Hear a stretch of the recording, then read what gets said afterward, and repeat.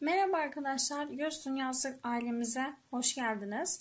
Konuştuğumuz üzere 2020 Göz Çalışma, Çalışma Programı'nı ayarlayacaktık birlikte. Ben örnek olarak bir program yaptım. Şimdi size bu programı anlatacağım. İlk olarak bu bir haftalık bir program ve gün gün ayarlanmış gördüğünüz gibi. Fakat sizden şöyle bir ricamız olacak. Artık e, sınava da az kalmışken biraz aktivitelerinizi kısıtlamanın zamanı geldi. Bu program birazcık temeli orta seviyede olan kişiler için mesela gördüğünüz üzere rasyonel sayıları mesela bir güne sığdırmışım. Hani en azından rasyonel sayıları veya temel matematik, mat biri orta seviyede olan kişiler için hazırlanmıştır. Bu, bu arada bir öğrencimizin ders programı.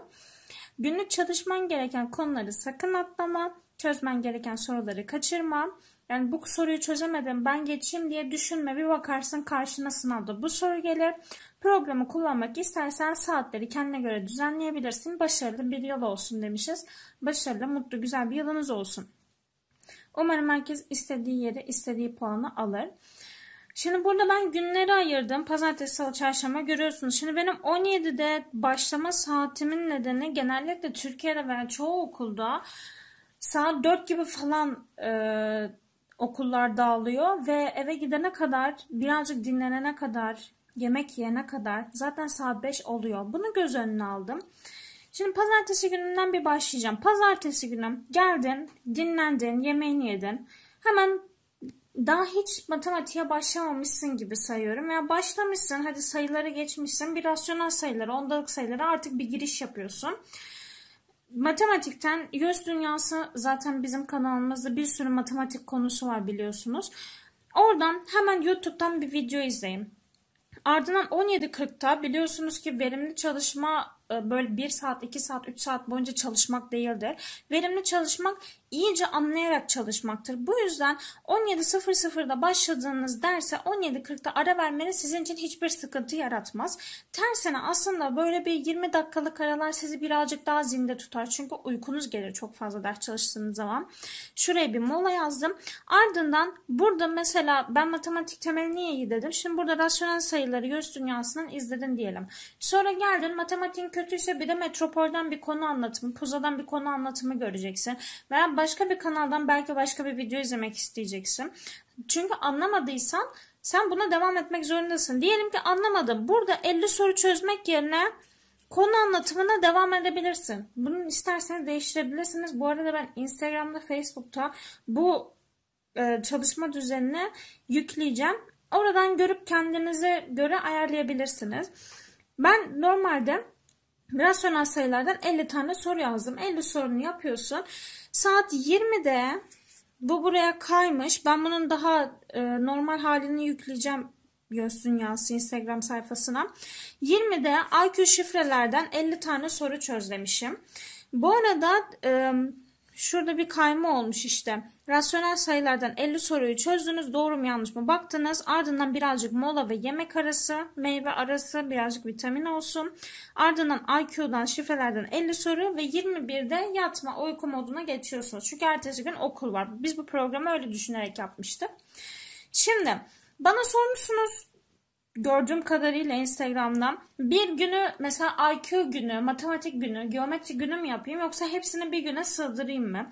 Şimdi bazı yerlerde geometrinin bir güne aldığım oluyor veya bir günde geometri, matematik, IQ çözdürdüğüm günler oluyor. Şimdi şöyle bir konuya bir gün verirseniz bir yerden sonra gerçekten sıkılabiliyorsunuz. Bu kişiden kişiye göre değişen bir şey ama ben mesela matematikten birazcık soru çözerken en azından 10 soru bile olsun IQ'dan soru çözmenizi öneririm. Çünkü ya farklı şeylerle çalışmak beyni farklı şekilde harekete geçiriyor. Bu yüzden daha iyi diye düşünerek biz yapmıştık bu programı. Şimdi salı gününe geldim. Şimdi rasyonel sayısını iyi yapan bir insan artık özdeşlikler ve çarpanları ayırmaya geçebilir. Özdeşlikler ve çarpanları ayırmadan yine YouTube'dan bir video izledi. Yine aynı saatte molasını verdi. Konu tekrarı 50 çözüm. Bizim burada konu tekrarı dediğimiz mesela pazartesi salı günüyle ilgili rasyonelden 25 özdeşlikler ve çarpanları ayırmadan 25 soru toplam çözüyorsun. Doğru yanlışına bakıyorsun diyorum. Ondan sonra yemeğine geçiyorsun. Oradan serbest zaman. Sonuçta siz de insansınız kesinlikle serbest zamanınız olabilir. Serbest zamanınızda istediğinizi yapabiliyorsunuz. 21.30'da bu defa uyuyabilirsiniz. Çarşamba günü, çarşamba gününe geldim. Burada geometride açılar yazıyor. Ben zaten dediğim gibi Instagram'a bunu birazcık daha düzenli haline koyacağım. Şimdi ben çıktı alırken birazcık sıkıntı yaşadım. Yine saat 5'te geometride açılardan başlıyorsun. Saat 17.30'da yani tam yarım saat sonra bu arada geometride açılarda konu anlatımı. Artık bu senin YouTube'dan izlemenden olabilir veya herhangi bir kitaptan geometrinin ilk konusuna başladın. Bir yarım saat çalış, notunu tut, iyice bir sindir. Ondan sonra birazcık mola, birazcık yemek arası vermeyi unutma. Senin için daha iyi olacaktır. Kafanda oturacaktır. Ardından hemen bir saat sonra Matematikten karışık 50 soru çözülecek. Bakın burada karışık dediğim yine rasyonel sayılar ve çarpanları ayırma. Buralarla ilgili karışık sorular çözüyorsunuz. Sonra mola verdiniz. Çok iyi. Mola verdikten sonra artık geometri, matematiği bir kenara bırakıyorsunuz. Birazcık beyni çalıştırmaya başlıyorsunuz. Birazcık beyni yormaya çalış başlıyorsunuz. IQ şifrelerden bir 50 soru daha çözüyorsunuz. Doğru yanlışına baktıktan sonra artık uyuyabilirsin. Perşembe gününe geleyim. Perşembe günü konu anlatımı demişim. Çünkü bakın burada geometri ile ilgili bir soru çözümü yok. Şimdi geometrinin konuları matematikten birazcık daha uzundur. Çünkü formülleri vardır. Üçgen çizeceksindir, dikdörtgen çizeceksindir. Bu yüzden geometrinin hemen bitmeyeceğini düşünerek yaptık arkadaşlar biz bu programı öğrencimiz için. Geometri konu anlatımına devam et demişim. Zaten iki günde bir konu anlatımını bitirirsiniz. Bir formüllerini yazarsınız ama geometride soru çözümü uzun sürer. 5'te başladığınız konu anlatımına artık bu YouTube olur, kitap olur, herhangi istediğiniz bir yayın olur. Sonra bir ara veriyoruz bir saat sonra. Bu aramız birazcık kısa yarım saatlik bir aradan sonra geometriden artık soru çözmeye başlayabilirsiniz. Bundan sonra geometriden 30 soru çözüyorsunuz. Yani biz geometride tamam matematikten 50-70 soruya kadar çıkabiliyoruz ama geometride 30 soruda hani sınırlandırmaya çalışıyoruz. Çünkü sınavda geometri daha az çıkıyor. Ardından yemek, serbest zaman, dinlenme, uyku. Sizin kesinlikle en doğal hakkınız. insani ihtiyaçlar bunlar. Cuma günü saat 5'te tekrar başlıyorsunuz. Şimdi biz karışık soruları çözdükten sonra ya tabii ki daha devam ediyorsunuz. Mesela ben bir konuya geçtikten sonra öğrenciye öneriyorum ki tekrar önceki konuları unutmamak adına karışık soru çöz. Önceki konuları çöz. Ee, konu anlatımına gelmişken işte kitap önerisi falan soruyorsunuz. Biz genellikle metropolü öğreniyoruz. Çünkü e, soru bakımından, soru tarzı bakımından sınava birazcık daha yakın. Metropol'ün konu anlatımlarını kullanabilirsiniz. Soru çözümlerini kullanabilirsiniz. Denemelerini kullanabilirsiniz. Puza'nın, tasarının yani göğüsle ilgili zaten belli başlı yayınlar var. Onların kitaplarını kullanarak devam edebilirsiniz. Zaten YouTube'da bizim kanalımız var. Türk kanalları olarak da birazcık daha Türkiye sınavına göre olduğu için sizin size ağır gelebilir. Hani size tamam problem çözmede belki bakabilirsiniz ama diğer konularda birazcık göz farklı olduğu için aslında birazcık içeriğin dışına çıkılıyor gibi. Burada matematik oran orantı yine göz dünyasındasınız her zamanki gibi. YouTube'dan videonuzu izlediniz. YouTube'dan video izledikten sonra bir göz dinlendirme molası yaklaşık 20 dakika. 20 dakikadan sonra IQ Göz Dünyası soru çözüm. Biliyorsunuz ki artık biz e, IQ videolarını da atmaya başladık. Birazcık aksamış olabilir. Zaten ben aktif olarak Instagram'da video falan atmaya çalışıyorum ama artık YouTube'da da aktif olacağım.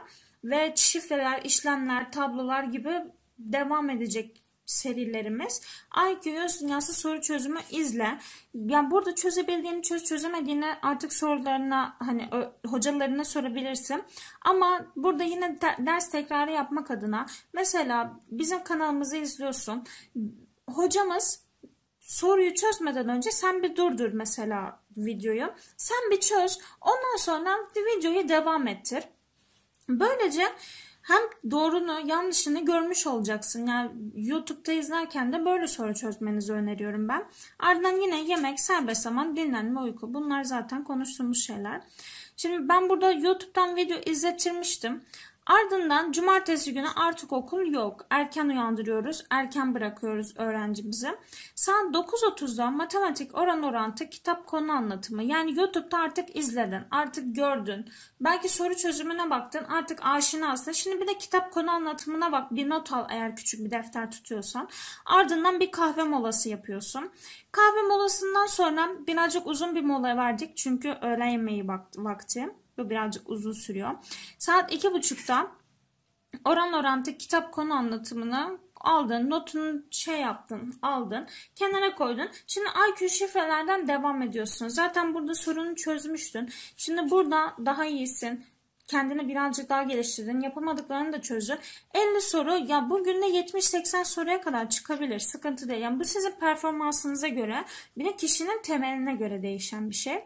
Ardından 15.40'da mola verdim. Bir 20 dakika artık beyni dinlendirme molası. Ardından geometriden 30 soru vermişim. Geometriden en son açılarla ilgili konu mesela konu işlemişti kendisi diye düşünüyorum. Öğrencime anlatıyorum. Geometriden 30 soru daha çözüyor. Doğrusunu yanlışına bakıyor. Artık ondan sonra mola rahat Günlük zaten yeterli arkadaşlar. Böyle aman aman 3 saatlik 4 saatlik günde 500 sorular 600 sorular. Ya temelin kötüyse belki olabilir ama o kadar şeyi vücut bir günde kaldıramaz. Düzenli çalışırsın, her gün çalışırsın. Bu senin için daha iyidir. Her zaman şunu söylüyorum. Uzun çalışmak değil, az ve öz çalışmak sizi kurtarır. Pazar günü Yine saat 5'e kadar değil. Yani yine tamam 9.30'da başlıyor ama bu defa 5'e kadar değil 2'ye kadar. Hatta 14 evet 2'ye kadar sizi yoracağız. Matematik oran orantıdan 50 soru demişim. Şimdi ben burada oran orantı YouTube'dan videosunu izlettim. Kitaptan konu anlatımını aldı. Hatta Metropol'ün konu anlatımı arasındaki çözümlü soruların çıkmış sorularını çözdü. Veya göz dünyasındaki YouTube'daki çıkmış sorularına her şeyini çözdün. Şimdi oran orantıdan kendin çözümsüz sadece şıkları olan sorularını çözüyorsun. Bir kendine bakıyorsun. Ben ne yapabiliyorum? Yüzde kaç yapabiliyorum? Çözemediklerini bir kenara koyuyorsun. Gidiyorsun hocana soruyorsun. Ardından bir kahve molası, öğlen yemeği molası. Sonra geometriden bir 30 soru daha veriyoruz. 30 sorudan sonra ya zaten e, mesela birinci test, ikinci test, üçüncü test diye ayrılıyor ya. Biz çalıştığımız öğrencilerle birlikte kitap sayfalarına göre ayarlıyoruz. Şimdi ben kabaca 30 soru diyorum ama daha fazla çözebilirsiniz. Bu size kalmış bir şey. Veya bugün mesela ben IQ'dan 50 soru çözdüm. Burada da mesela çözeceğim. 50 soru çözdüysem çözmem gerekiyorsa pardon 50 soru çözmem gerekiyor ama ben o gün 10 soru çözdüm. Çünkü bir işim çıktı bir şey oldu. Buradan kaldığım eklenti yapabilirsiniz isterseniz veya o gün çok çözersiniz. Ertesi gün misafir gelecektir, bir şey olacaktır. Onu kendinize göre ayarlayabilirsiniz. Sonra dinlen demişim. Ee, genel olarak temeli orta düzeyde olan öğrencinin bir çalışma programını paylaştım sizinle. Ee, Genel olarak verimli bir çalışma programıdır. Eğer uyulursa, soruları güzel bir şekilde çözülürse sizi zinde tutacak bir programdır. Yemeğinize, beslenmenize dikkat edin. Ben genellikle üniversiteye hazırlananları söylüyorum. Kesinlikle beslenme çok etkiliyor. Fast food, dışarıdan yemek yemek sizin özellikle bu saatlerde çalışamamanıza neden oluyor. Yani ders çalışamıyorsunuz. Direkt uyuma moduna geçiyorsunuz. Bu yüzden cevizdir, meyvedir, bilmem nedir. Arada şu verdiğim molalarda meyvenizi, kahvenizi, kahveyi de çok abartmamak üzere tüketebilirsiniz. Şimdi ben bu listeyi kendim yaptım ama şunları da e, Pinterest'ten buldum. Şöyle bir .com bilmem neyin .com'u ama ben yine göstermek istedim. Ee, şimdi benim gösterdiğim, yaptığım aslında programa yakın ama benimki birazcık daha e, şaşalı mı desem birazcık uğraşılmış birazcık bilgisayarda uğraşılmış bir liste onu zaten biz ayarlıyoruz. Şimdi haftalık plan olarak yapacağınız şeyleri yapacağınız işleri konuları ayarlayabilirsiniz. Mesela ben burada pazartesi günü oran orantı demiştim işte. Rasyonel sayılar demiştim. Mesela pazartesi günü 9'da başlayacaksınız siz.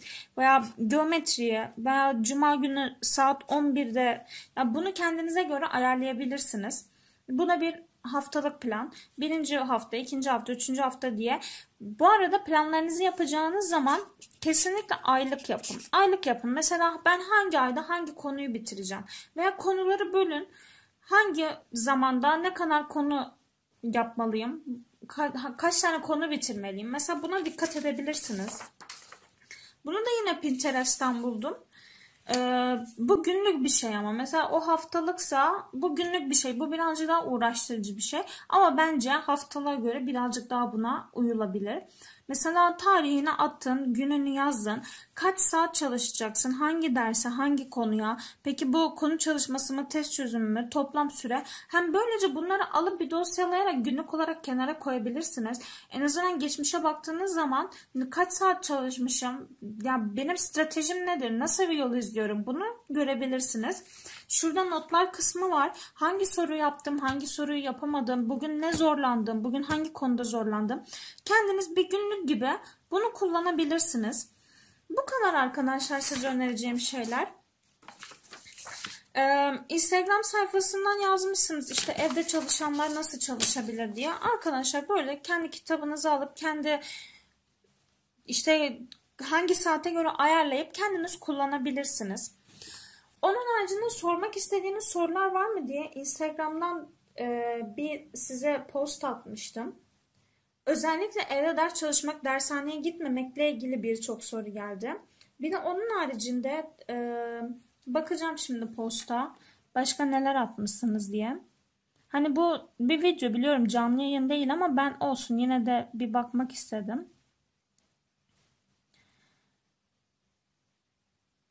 Hocam 12. 12. sınıf öğrencileri bu sene YÖS'e girme ihtimali var mı ya da liseyi bitirmeden zorunda önce diye bir şey yazmış. Zaten 12. sınıf öğrencileri diplomayı aldıktan sonra hemen sınava girebiliyorlar.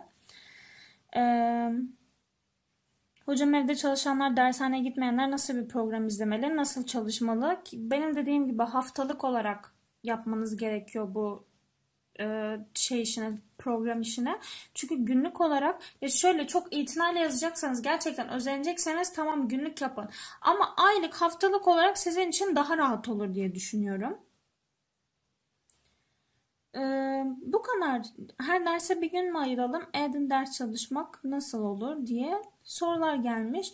Yeni başladıysanız arkadaşlar konuya halledebilirsiniz ama birazcık hızlı olmanız lazım. Çünkü bazı arkadaşlarınız neredeyse yolu yarıladılar gibi. Birazcık hızlanmanız lazım. Program yaparsanız daha iyi ilerlersiniz. Daha iyi bir sonuç alırsınız. Bu kadar da arkadaşlar umarım sizin için yararlı olmuştur. Bu programı ve arkasındaki iki sayfayı da Instagram'a yükleyeceğim.